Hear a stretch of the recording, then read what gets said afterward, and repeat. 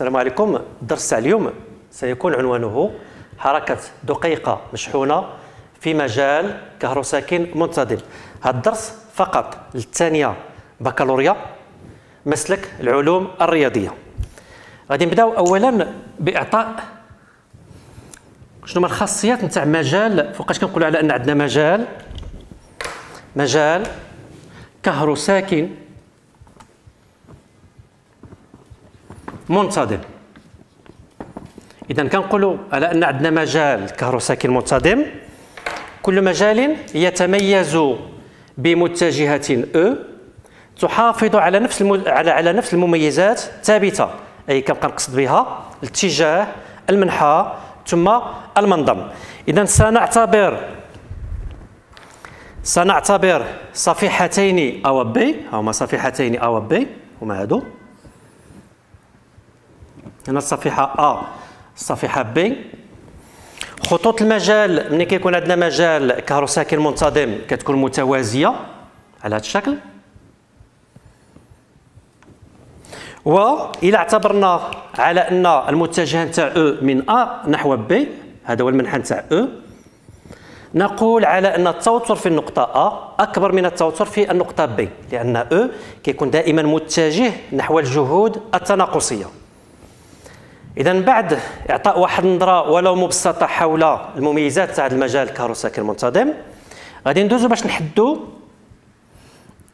المعادلة الزمنية لحركة دقيقة مشحونة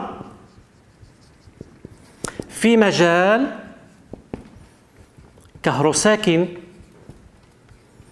منتظم. لهذا الغرض غادي ناخذ صفيحتين أو بي ها هما. ناخذ صفيحتين أو بي بحيث سيتم إدخال من النقطة أو في هذه النقطة هذه غادي ندخلوا إلكترون ومني كنقول إلكترون فكتكون شحنته q égale moins e بسرعة أفقية V zéro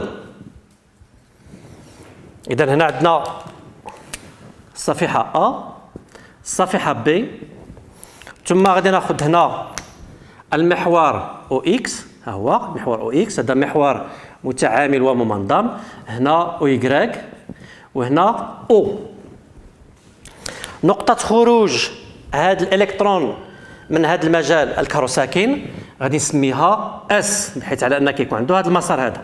هنا عندنا نقطة الخروج S اذا نعتبر على أن E هذا هو المنحى نتاعها المجال الكهروساكن المنتظم. F القوة الكهربائية غادي تكون عندها منحى معاكس. علاش؟ لأن F التعبير نتاعها هو q fois E بما أن q سالبة لأن F و E لهما منحيان متعاكسان. اذا سنقوم اولا بجرد القوى المطبقة على هذا الإلكترون. اذا غادي نديروا جرد القوى. اذا جرد القوى. جرد القوى المطبقة على الإلكترون. اذا جرد القوى المطبقة على الإلكترون. غادي يكون P الوزن. P الوزن. وغادي تكون F القوة الكهربائية. la force électrique اذا P من حيث المنظم كتساوي لنا m تاع الالكترون fois g m تاع الالكترون الكتله نتاع الالكترون تقارب 9.1 10 أس ناقص 1 31 كيلوغرام إلا ضربنا هاد la masse في ال g واعتبرنا على أن جي تقريبا 10 فغادي تعطينا هنا تقريبا 10 أس ناقص 30 وبالتالي فنعتبر على أن الوزن P مهمل أمام القوة F غادي نولي هنا باش نطبق القانون الثاني لنيوتن ندير نطبق القانون الثاني لنيوتن نطبق القانون الثاني لنيوتن واللي كيقول على أن مجموع مجموع القوى الخارجية كتساوي لنا الجداء m fois G. حنا في هذه الحالة هذه هملنا P امام F. يعني بقات لنا هنا في هذا المجموع تاع القوى الخارجية فقط غير F. اذا غادي نعوضها. F égale m aG. F غادي نعوضها ب q fois E. égale m aG أي أن اش جي اللي هي المتجهة. نتاع التسارع تساوي Q sur M fois E. إذا إحنا عندنا E عندنا جوج المحاور O x وعندنا كذلك المحور O y غادي نحاولوا نوجدوا الإحداثيات. عفوا. نتاع ا جي أنا ندير ا جي في ا جي عندنا الأفصول. aG x égale وعندنا كذلك الأورتوب. ا جي إي تيغال باش كنوجدوا ا جي إكس و ا جي y ا جي إكس غتكون عندنا كيو سي موا أو نعوضها. موا أو سور إم فوا أو إكس. و موا أو سور إم فوا أو إكس عندنا أو على إكس تيغال زيرو. يعني هذا كله كتساوي لنا صفر. بنفس الطريقة بالنسبة لي غتكون عندنا moins e sur m fois E y. E متوازية مع l'axe O y. منحى معاكس غتكون E y c'est moins E ناقص مع الناقص زائد. غادي نحصل على زائد e sur m fois E اذا الكتابة المتجهية نتاع a جي غتكون عندنا الكتابة المتجهية نتاع ا جي ا جي كتساوي لنا. ما عندناش على المحور O x يعني ما عندناش على i. هنا عندنا المحاور أو المتجهات الوحيدية i j. اذا aG على i ما عندناش بقاتنا غير هنا على i ولا على j. تعطينا e sur m fois E fois j ومن حيث المنظم نتاع أ جي المنظم نتاع أ جي غادي يكون كيساوي لنا e sur m fois E اذا هذه الطريقة باش بدينا طبقنا القانون الثاني تاع نيوتن هملنا P أمام F خرجنا الإحداثيات نتاع الا جي الكتابه المتجهه نتاع G ثم المنظم نتاع G بنفس الطريقة غادي نخرجوا الإحداثيات نتاع السرعة. إحداثيات السرعة. اذا علامة إحداثيات السرعة. احداثيات السرعه نعلم على أن الأ التسارع هو الاشتقاق السرعة بالنسبة للزمن وبالتالي فإلا بغيت نبحث على الإحداثيات نتاع في خصني نبحث على الدالة الأصلية نتاع الإحداثيات نتاع الأ أو التكامل. اذا شنو عندنا حنا؟ غادي نبداو اولا ب G X عندنا a G X zéro. a G X est égal zéro. هذا كيعني على أن V X كتساوي لنا ثابتة. V X كتساوي لنا ثابتة هي V 0 على X غادي نشوف هنا V 0 مع O X كاين هناك تطابق في نفس المنحى وبالتالي فإن V 0 على X ما كاينش زاوية. غتكون هي V 0 غادي نمشي ل جي اي ا جي اي عندنا هي e sur m fois E donc غادي ندير a G Y c'est e sur m fois E الداله الاصليه نتاع هذه غتكون عندنا هي e sur m fois E fois t غندير هنا V y grec كتساوي لنا e sur m fois E fois t زائد V 0 y grec الاسقاط نتاع V 0 على O y grec كاين تعامد غادي تكون هذه كتساوي لنا صفر وبالتالي فيمكن كتابة V y grec أو V بصفة عامة. في كتساوي لنا على أو اي عندنا في 0 دونك سي في 0 اي بلس أو سور ام فوا أو فوا تي كلشي على جي من حيث المنظم تاع في من حيث المنظم تاع في المنظم تاع في غادي يكون سي في 0 أو كاري بلس أو سور ام فوا أو فوا تي لو تو كاري اي لا راسين كاري. إذا لاحظوا معايا على أننا كنمشيو بتدرج انطلقنا من القانون الثاني تاع نيوتن بحثنا على الإحداثيات نتاع التسارع أجي من الإحداثيات نتاع التسارع أجي خرجنا كذلك الإحداثيات نتاع السرعة هما هادو. وبنفس الطريقة كنمشي وكندير الكتابة المتجهية وكندير كذلك المنظم.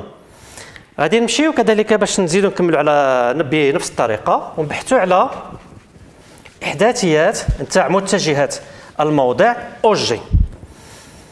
اذا إحداثيات إحداثيات أو المعادلات الزمنية إحداثيات متجهات الموضع.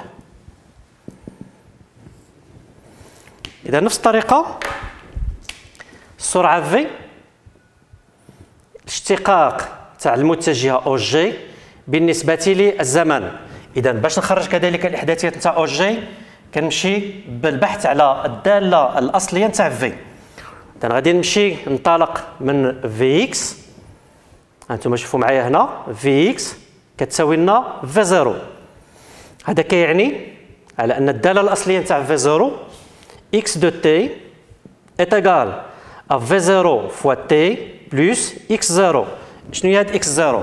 هي الإحداثية ولا الأفصول؟ نتاع آه نتاع آه الإلكترون عند اللحظة t كتساوي لنا صفر أو عند الانطلاق. اذا بما أن هذا الإلكترون انطلق من النقطة O فأفصوله كيساوي لنا صفر. وغادي نسمي هذه العلاقة هذه المعادلة رقم واحد. X كتساوي لنا V zéro fois t بنفس الطريقة غادي نمشي ل V y grec V Y كتساوي لنا E sur M fois E fois T. ما عندناش هنا V 0 Y. كتساوي لنا صفر. الدالة الأصلية نتاع هذه هذه على صيغة A fois X. هي 1 demi A X carré donc غتكون عندنا Y de T كتساوي لنا واحد على جوج. E sur M fois E fois t au carré plus y grec zéro. قلنا على أن الإلكترون انطلق من النقطة O اذا الأفصول كيساوي صفر والأرتوب كيساوي صفر اذا هنا كتساوي لنا صفر. X صفر و y grec صفر كنحدوها بالشروط البدئية. هنا غادي نسمي هذه العلاقة هذه نعطيها رقم نسميها جوج. هنا عندنا بالطبع عندنا t au carré. هادو بجوج الإكس الإكس دو تي والايكغيك دو تي. كيتسموا بالمعادلات الزمنية لحركة الدقيقة. هما المعادلات الزمنية لحركة الدقيقة. من هذه المعادلات الزمنية لحركة الدقيقة يمكن استنتاج معادلة المسار. إذا غادي ندير علامة. معادلة المسار. في معادلة المسار بحال اللي كنا شفنا بالنسبة للقاذفة غادي نمشي إلى المعادلة رقم واحد نحيد منها t ثم سأقوم بتعويضها في المعادلة رقم جوج. إذا غادي نكتب من واحد نجد من واحد نجد t est égal à X على V zéro. نعوضها في جوج. غادي نمشي لجوج. بالطبع غادي نحيد هنا الزمن t لأن ما بقاش عندي الزمن t وغادي نكتب يكراك تقال يكراك تقال واحد على جوج. e sur m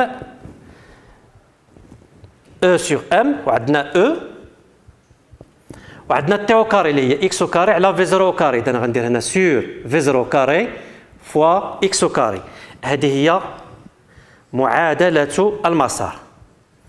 معادلة المسار.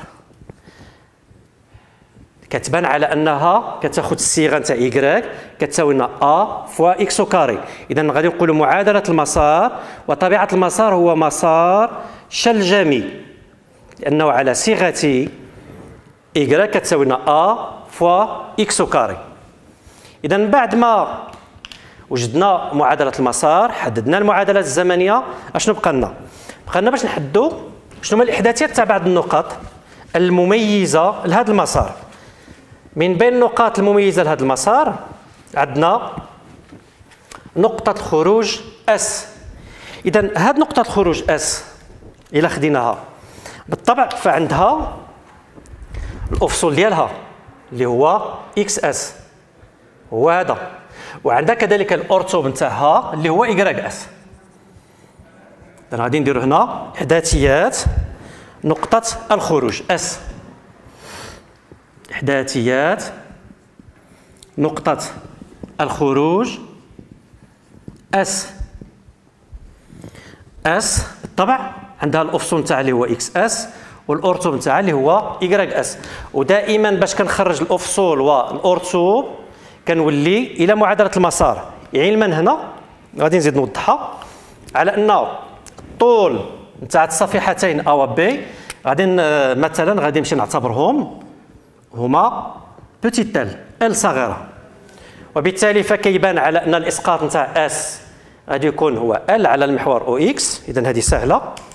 غادي نقول على أن S عندنا ال x s ديالها طول هو petit l i grec s هو اللي خصني نبحث عليه انطلاقا من معادلة المسار. كنولي لمعادله المسار وكنكتب i grec s تساوي واحد على جوج.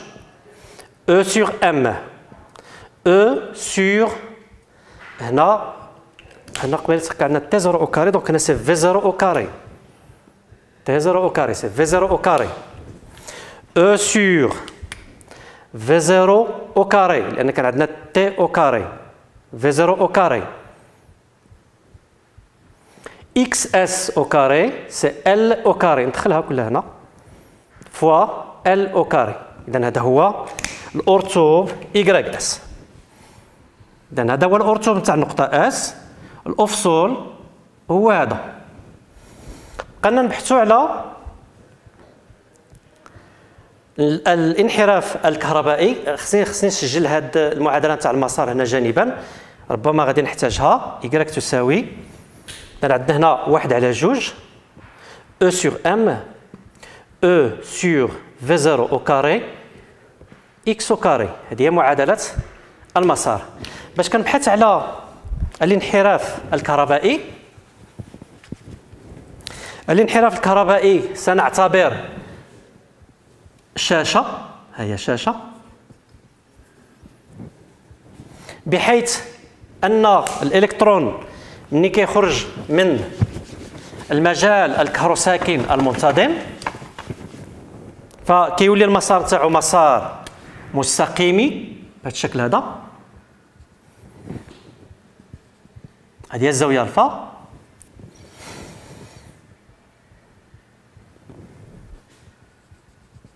هنا غادي نديرو النقطة O prime.